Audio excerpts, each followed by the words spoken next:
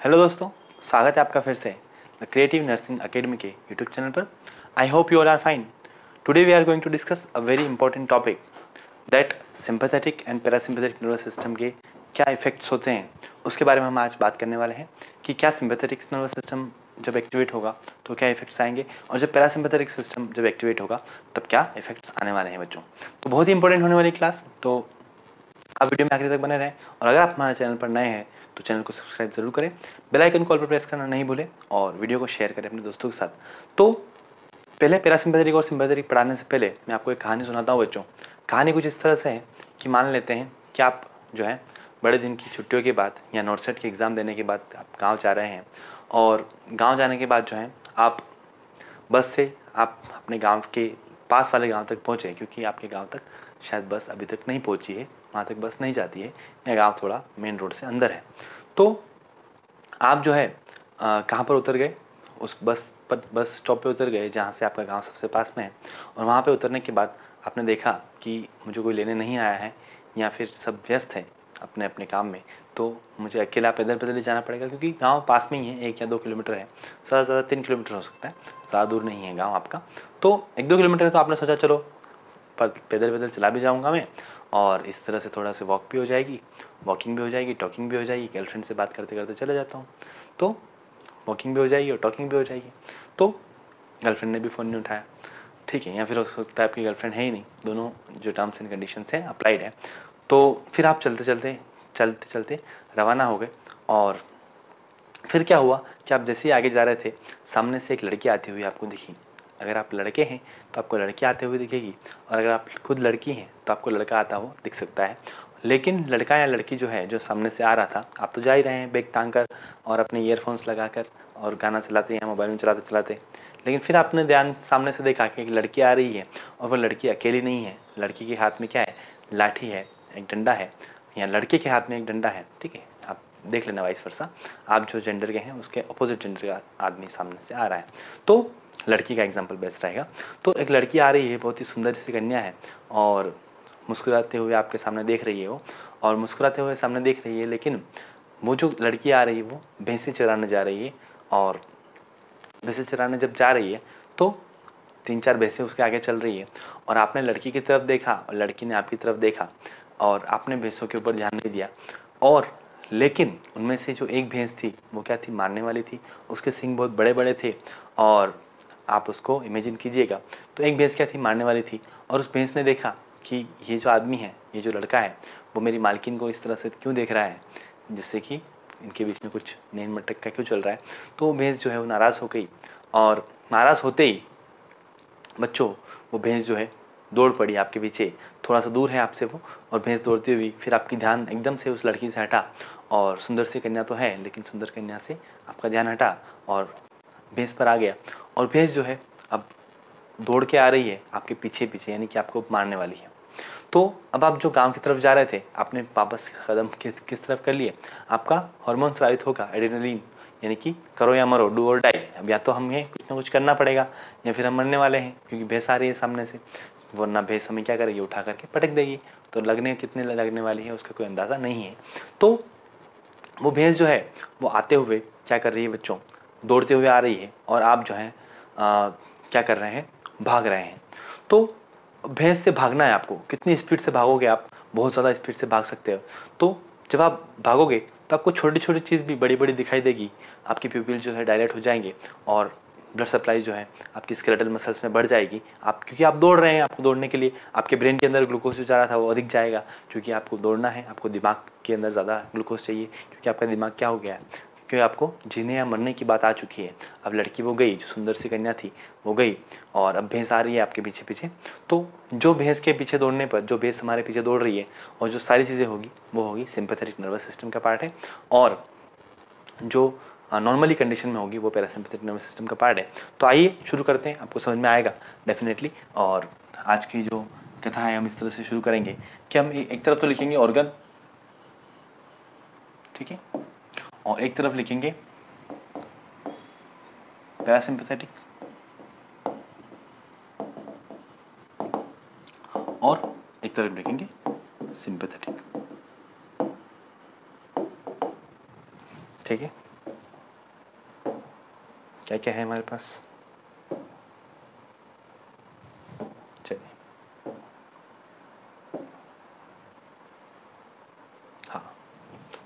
Table बना दिए हमने, और इस टेबल के अंदर, चलिए, यहाँ पर ऑर्गन आ जाएगा, इसको थोड़ा सा बड़ा कर सकते हैं क्या हम? नहीं हो रहा चलिए, कोई बात नहीं। जैसा है वैसा अच्छा है मिट क्यों नहीं रहा है?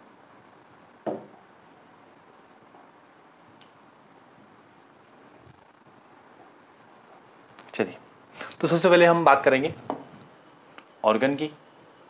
और इधर हम देखेंगे। चलो, पहले सिंपैथेटिक देख लेते हैं।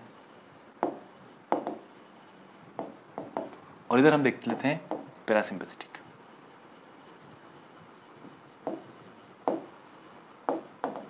ठीक है? पहले देखेंगे हम। सबसे पहले ऑर्गन की बात करें। तो पहला ऑर्गन जो होगा हमारा, वो होगा प्यूपिल तो आप उस कंडीशन में दिमाग लगाइए कि भैंस आपके पीछे भाग रही है तो आपके प्यूपिल क्या होंगे? कॉन्स्टिंग होंगे या डायलेट होंगे? तो प्यूपिल क्या होंगे? डायलेट हो जाएँगे। आपकी बहुत आगे बड़ी हो जाएगी और आँखों के जो प्यूपिल्स है वो डायलेट हो जाएँगे। तो यहाँ पर हम क्या लिखेंगे? डायलेटेड ठीक है? तो प्यूपिल क्या होंगे? आपके डायलेट हो जाएँगे। प्यूपिल क्या होते हैं? तो ये आपकी आँख है। है ना? और ये आँख का आपका, ठीक है? इसमें एक छोटा सा जो तारा होता है, वो एक तरह से पिपिल है। इस तरह की आपकी आँख होती है। अब ये जो होती है एक प्यूपिल एक मसल है एक तरह से प्यूपिलरिस मसल जो है, ये यहाँ पर, ये कॉन्स्टिक भी हो जाती है डायरेक्ट भी होती है। अभी इस प्यूपिल के कॉन्स्टिक्ट और डायरेक्ट होने पर डिपेंड करता है कि कितनी रोशनी आपकी आँखों के अंदर जाएगी। तो आपको ज़्यादा रोशनी, ज़्यादा अटेंशन की ज़रूरत है तो आपकी प्यूपिल डायरेक्ट रहेगी। आपको कम अटेंशन की ज़रूरत है तो आपकी प्यूपिल कॉन्स्टिक्ट रहेगी। ठीक है? आप इस बात को समझ लें। तो डायरेक्टेड प्यूपिल मतलब ज़्यादा रोशनी आँखों के अंदर जाएगी। कॉन्स्टिक्टेड प्यूपिल मतलब कम रोशनी अंदर जाएगी। तो इस तरह से हम देखेंगे। तो डायरेक्ट हो जाएगी प्यूपिल उसके बाद जब पैरासिम्पेथेटिक है। पैरासिम्पेथेटिक का मतलब क्या है बच्चों? कि नॉर्मली जब हम नॉर्मली जब हम रिलैक्सड हैं, जब हम सब कुछ अच्छा चल रहा है, अभी जब आप पढ़ रहे हैं तो पीपल्स क्या है? कॉन्स्ट्रिक्टेड है, ठीक है? डायरेक्टेड नहीं है। तो यहाँ पर नॉर्मल कंडीशन की बात करेंगे। जब आप लड़की से नैन में टक्का कर रहे थे, तब की बात हो रही है ये। और उसके बाद दूसरा हम देखेंगे। ऑर्गन वो है आपका हार्ट ठीक है तो हार्ट के बारे में हम देखें तो हार्ट रेट आप भाग रहे हैं और आपके पीछे भैंस पड़ी हुई है तो आपकी हार्ट रेट घटेगी या बढ़ेगी? सामान्य सी बात है स्वाभाविक सी बात है क्योंकि आपके हार्ट को ज़्यादा पंप करना पड़ेगा। हार्ट को ज़्यादा पंप क्यों करना पड़ेगा? क्योंकि ब्रेन को भी ऑक्सीजन चाहिए और आपकी स्केलेटल मसल स्केलेटल मसल्स को भी ऑक्सीजन चाहिए क्योंकि आपको भागना है। किसके पीछे भागना है? आ, मतलब आपके पीछे कोई भाग रहा है और आपको आगे आगे भागना है। तो आपकी जो हार्ट रेट है वो क्या हो जाएगी? हार्ट रेट हम लिख लेते हैं या हार्ट हार्ट रेट भी कह सकते हैं हार्ट भी कह सकते हैं। हार्ट में increase heart rate sorry increase heart rate और यहाँ पर क्या होगा? सिंपल से अपन देखेंगे। डिक्रीज हार्ट रेट यानी कि आप सामान्य कंडीशन में हैं। अभी जो है क्लास देख रहे हैं, उस दौरान आपकी हार्ट जो है हार्ट बीट जो है, वो कम रहेगी। लेकिन जब आप भाग रहे होंगे, चाहे आप भैंस से भाग रहे हैं, चाहे आप चूहे से भाग रहे हैं, चाहे आप कुत्ते से भाग रहे हैं स्पेशली लड़कियाँ तो कुत्ते से भी भाग सकती है और लड़कियाँ छिपकली से भी भागती है। छिपकली को देख के सोचती है, अरे छिपकली आ गई।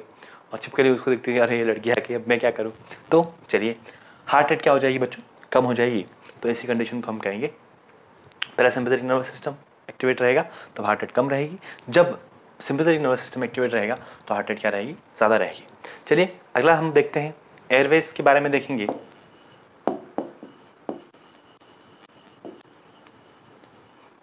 ठीक है एयरवेज यहाँ पर क्या रहेंगे?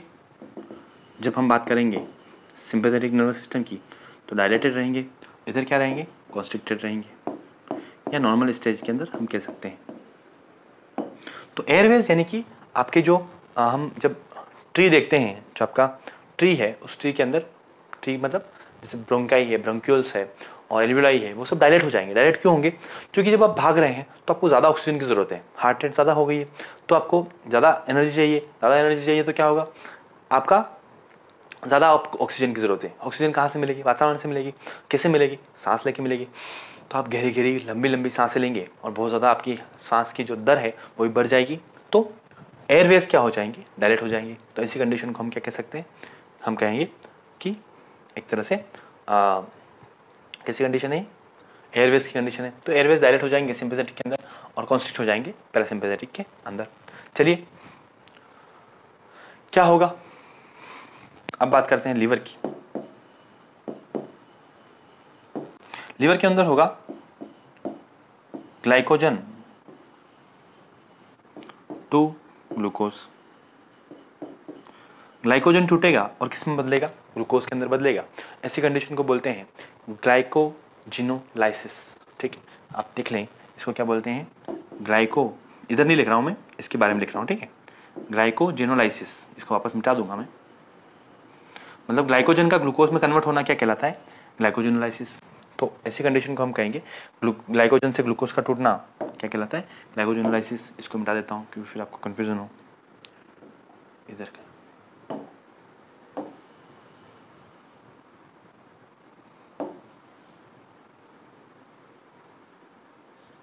ठीक है तो ग्लाइकोजिनोलाइसिस होगा और वेट फॉर भाई चलिए। ग्लाइकोजन से ग्लूकोज में बदलेगा क्योंकि शरीर को शर्करा की ज़रूरत है, एनर्जी की ज़रूरत है और वो एनर्जी स्टोर्ड रहती है। 500 ग्राम जो ग्लाइकोजन होता है, वो स्टोर रहता है आपका लिवर के अंदर और वो वहाँ से स्टोर होगा। तो स्टोर होगा तो शरीर को ज़रूरत होगी कि मुझे ग्लूकोज चाहिए। शरीर बोलेगा, मुझे ग्लूकोज चाहिए। तो ग्लूकोज कहाँ से आएगी? लिवर बोलेगा, ठीक है, मैं देता हूँ तुझे ग्लूकोज लेकिन मुझे वापस दे देना। पाँच सौ ग्राम ही है मेरे पास। तो देगा वो। जैसे हमारे पास पाँच सौ रुपये होते हैं, मेरे दोस्त पैसे माँगता है। मैं कहते दो सौ रुपये दे देता हूँ तेरे को, मेरे पास ही तीन सौ ही बचेंगे। तो वापस दे देना मेरे को टाइम से, लेकिन दोस्त कभी पैसे टाइम से नहीं देते। ठीक है। तो कोई बात नहीं तो मज़ाक की बात है। और लेकिन दोस्ती बहुत ज़रूरी है। दोस्ती यारी निभाएँ आप। और दोस्तों से ही ज़िंदगी है। दोस्ती बहुत इंपॉर्टेंट होती हैं दोस्त। जीवन में हमेशा साथ देते हैं। अच्छे दोस्त। चलिए, बाकी बहुत सारे ऐसे भी होते हैं जो मौका परस्त दोस्त होते हैं तो इनसे आप बचें। चलिए, ये दोस्ती यारी की बात अलग है। लेकिन ग्लाइकोजन से ग्लूकोज टूटेगा ग्लूकोज क्यों चाहिए हमारी बॉडी को? हमारी बॉडी को एनर्जी के लिए ग्लूकोज चाहिए। तो ग्लूकोज जो है ग्लाइकोजन से कन्वर्ट होगा। इस कंडीशन को बोलते हैं हम सिंपैथेटिक नर्वस सिस्टम ठीक है? जैसे आप भाग रहे हैं तो आपको ग्लूकोज चाहिए ना? कहाँ से भाग रहे हैं आप? भैंस से भाग रहे हैं। उसके बाद यूजुअल कंडीशन में क्या होगा? स्टिमुलेट बाइल रिलीज़ जब कंडीशन सामान्य होगी तो पैरासिम्पैथेटिक सिस्टम के अंदर जो लीवर है, वो क्या करेगा? बाइल के रिलीज़ को स्टिमुलेट करेगा। बाइल के रिलीज़ बाइल को रिलीज़ करेगा और बाइल को रिलीज़ करने का स्टिमुलेट कौन करेगा? पैरासिम्पैथेटिक नर्वस सिस्टम और बाइल को रिलीज़ होगा वहाँ से और बाइल स्टोर कहाँ पर होगा? आपके गोल ब्लेडर के अंदर और वहाँ से स्टोर जो थोड़ा छन छन के और मतलब प्योरीफिकेशन भी काम होता है गोल ब्लेडर का तो गोल ब्लेडर से बाइल जो है आ, आगे चला जाएगा आपके इंटेस्टाइन के अंदर। तो यहाँ तक आई होप कि आपको समझ में आ गया होगा। चलिए आगे देखते हैं। कैसे आएगा ये? आगे।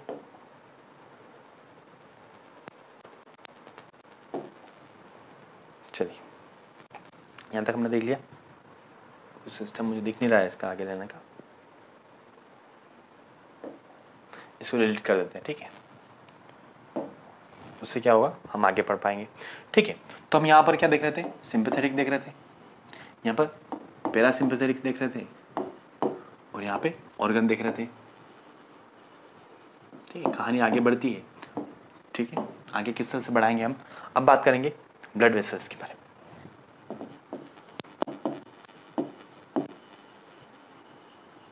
ब्लड वेसल्स यहाँ पर क्या होगी? सिंपथेटिक के अंदर डायलेट होगी। और यहाँ पर क्या होगी? कॉन्स्ट्रिक्ट होगी।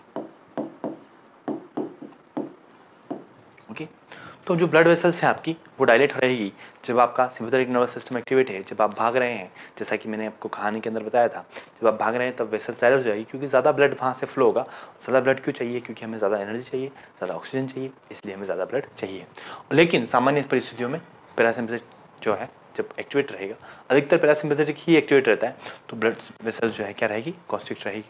चलिए, अब बात करते हैं जीआईटी की गेस्ट्रोइंटेस्टाइनल ट्रैक्ट की, या जीआईटी सिस्टम की। तो यहाँ पर सिंपैथेटिक जब होगा, तब क्या होगा? एक्टिविटी क्या हो जाएगी इसकी? डिक्रीज हो जाएगी। और इसमें क्या होगी? इंक्रीज एक्टिविटी एक्टिविटी की जब हम बात कर रहे हैं तो एक्टिविटी का मतलब यहाँ पर है इंक्रीज प्रेजिस पेरिस्टाल्टिक मूवमेंट बोवेल साउंड ठीक है? जो मूवमेंट है, वो बढ़े हुए पाए जाएँगे पैरासिम्पथेटिक सिस्टम के अंदर। बोवेल जो साउंड्स है, वो आएँगे पैरासिम्पथेटिक नर्वस सिस्टम के अंदर। लेकिन जब हम बात करेंगे सिम्पथेटिक नर्वस सिस्टम की तो जीआईटी से वहाँ पर कोई काम नहीं है। और उसकी एक्टिविटी क्या हो जाएगी? कम हो जाएगी।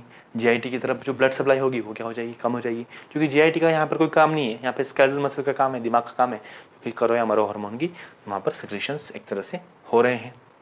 चलिए, यहाँ तक हमने देखा। उसके बाद बात करते हैं। यूट्रस की। या एक तरह से कह सकते हैं हम, आपके रिप्रोडक्टिव सिस्टम तो जब बात करेंगे हम रिप्रोडक्टिव सिस्टम की तो यहाँ पर क्या होगा? वेजाइनल कॉन्स्ट्रिक्शन और यहाँ एक और क्या होगा? आपका स्टिमुलेट ऑर्गेजम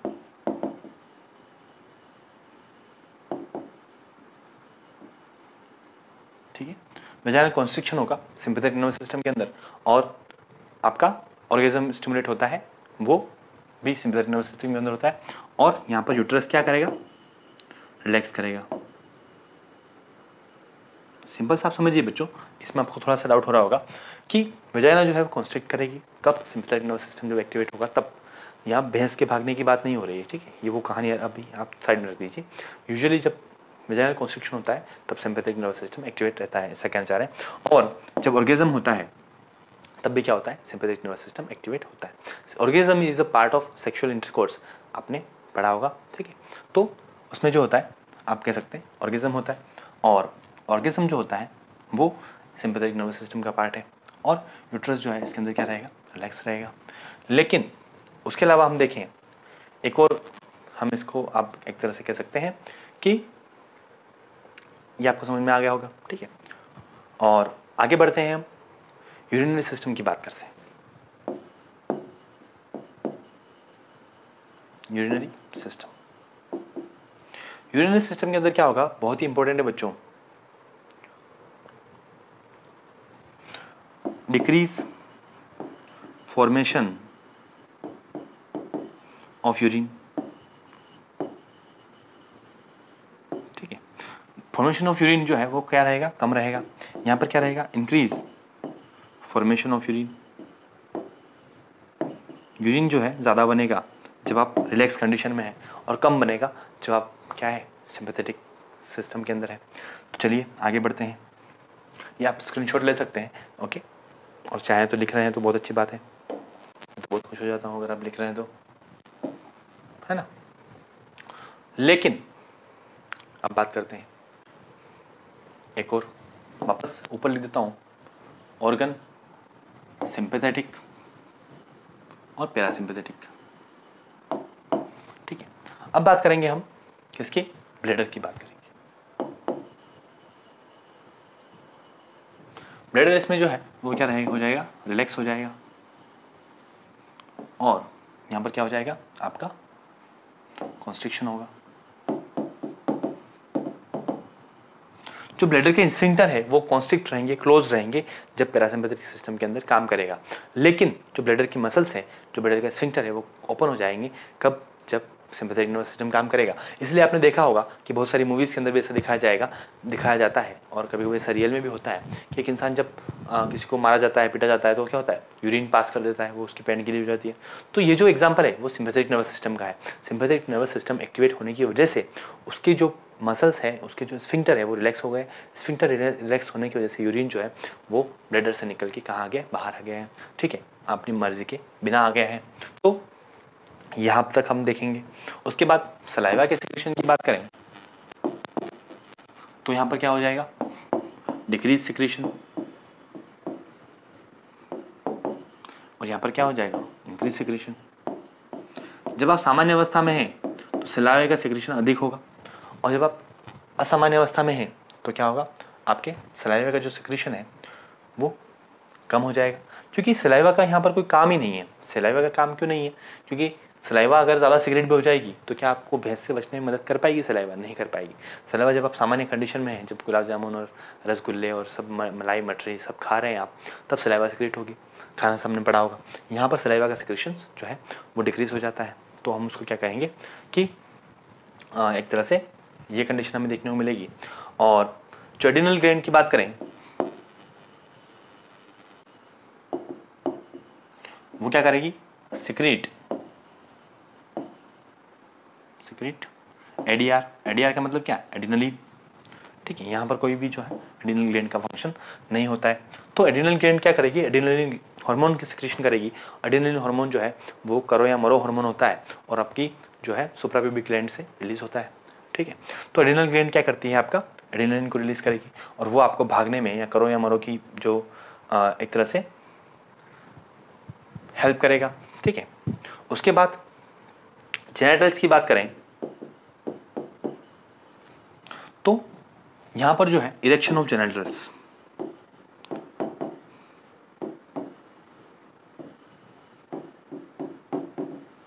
ठीक है? और यहाँ पर जेनेटल से कोई संबंध ज़्यादा नहीं है। यानी कि रिलैक्स रहेंगे, ठीक है? इलेक्शन नहीं होगा। ओके? सो जब हम बात करते हैं कि इरेक्शन ऑफ़ पेनिस और इरेक्शन ऑफ़ जेनेटल्स कब होगा सिंपैथेटिक नर्वस सिस्टम में नहीं होगा। पैरासिम्पैथेटिक नर्वस सिस्टम के अंदर होगा। सिंपैथेटिक सिस्टम के अंदर जब एक्टिवेट होगा तो इरेक्शन ऑफ़ जेनेटल्स होने की बात ही नहीं आती है। लेकिन हाँ विजाइना कॉन्स्ट्रिक्ट होगी और जब एजुकुलेशन होगा, जब ऑर्गेजम होगा तो ऑर्गेजम के टाइम पर सिंपैथेटिक नर्वस सिस्टम एक्टिवेट रहता है। थोड़ा कन्फ्यूजिंग है, लेकिन आप समझेंगे तो थोड़ा सा समझ में आ जाएगा आपको। उसके अलावा ये चीज़ें हमने देखी बच्चों। तो हमने देखा कि पिपिल जो है, वो कॉन्स्ट्रिक्ट हो जाते हैं, है ना? कब? जब मैं हम सिंपल तरीके में आपको बताता हूँ, ठीक है? जब आप भाग रहे हैं, ठीक है? सिंपल सा, एक बार और समझ लेते हैं। जब आप भाग रहे हैं तो पिपिल आपके डायरेक्ट हो जाएँगे, क्योंकि आपको एक एक पत्थर कहाँ पड़ा है और रास्ता कैसा है, कहाँ पे खड्डा आ रहा है, कहाँ पे खड्डा नहीं आ रहा है, सब दिखेगा आपको। उसके बाद जब हम बात करेंगे ब्लड वेसल्स डायरेक्ट हो जाएगी क्योंकि ज़्यादा ब्लड सप्लाई चाहिए। आपके जो रेस्पिरेटरी एयरवेज है, वो डायरेक्ट हो जाएँगे क्योंकि आपको ज़्यादा ऑक्सीजन चाहिए। उसके बाद हम बात करें जे को जो ब्लड सप्लाई जा रही है, वो कम हो जाएगी। जे के अंदर जो सिक्रीशंस ऑफ़ जो है जे के अंदर जो जूस वगैरह सिक्रेट होते हैं, वो कम हो जाएँगे। कब आपको सब सिंपथेटिक एक्टिवेट है तब। उसके अलावा ग्लाइकोजन से ग्लूकोज में टूटने लगेगा जब आपका सिंपथेटिक एक्टिवेट है, क्योंकि ग्लूकोज की ज़रूरत बहुत ज़्यादा है ना?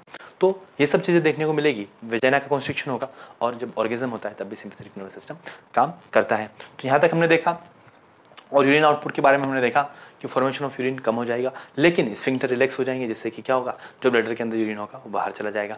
तो ऐसी ऐसी कंडीशन को जब हम कहेंगे एडिनलिन ग्लैंड क्या करेगी? एडिनलिन सिक्रेशन करेगी। ठीक है? उसके अलावा स्केलेटन मसल की एक्टिविटी जो है, वो क्या हो जाएगी? बढ़ जाएगी। स्केलेटन मसल के पास ज़्यादा ऑक्सीजन की सप्लाई जाएगी। तो ऐसी कंडीशन को हम कहेंगे, बेटा सिंपैथेटिक नर्वस सिस्टम और आप इसको याद रखें। बहुत ही important exam point of view से। और बहुत ही कन्फ्यूजिंग होता है आपके लिए। तो आई होप कि मैं आपको समझाने में सम जो है, रहा हूँ सफल। तो thank you so much for watching like the video share the friends have great day